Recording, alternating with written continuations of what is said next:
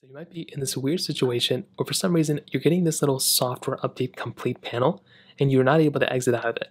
Maybe when you click continue it tells you about your SIM card or your SIM's not supported and it goes back to the hello screen. Now if you're stuck here, this could mean a couple of different things. But a Redditor actually went ahead and I got this image from, posted about this a while ago, and these comments actually gave her some really good suggestions. So the first thing that I would personally recommend recommend doing too is to go through and just restart your iPhone. So go through, hold down the power button and the volume down button on your iPhone, depending on which iPhone you have. Slide the power off. So just go and slide the power off that thing. And what you want to do is you want to go in and lock it again once you power back on. And you want to see if you're able to go through the setup as you normally would. For a lot of people, that's probably all you're going to have to do. And that's probably what I'd recommend doing as well. So try going through, trying to fix it that way. And that could, like I said very well, end up fixing the problem for you.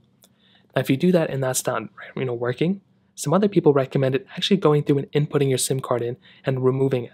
Sometimes there can be some SIM card issues that you may be having with your iPhone.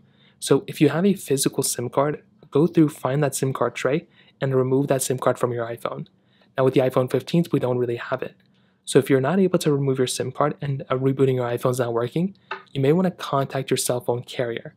So what this means is basically you call your people T-Mobile or AT&T or Verizon, whoever you have, what they recommend you doing there is to go and let them know what's going on with your particular iPhone and then contacting them and seeing what happens. If they help you out, then that's awesome.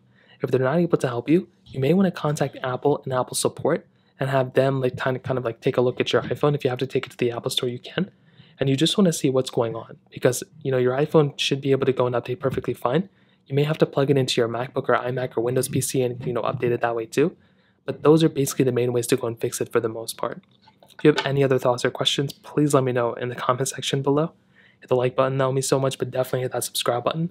More importantly, everything else, I love every single one of you guys. Hopefully I'll catch you guys in the next video. Peace out.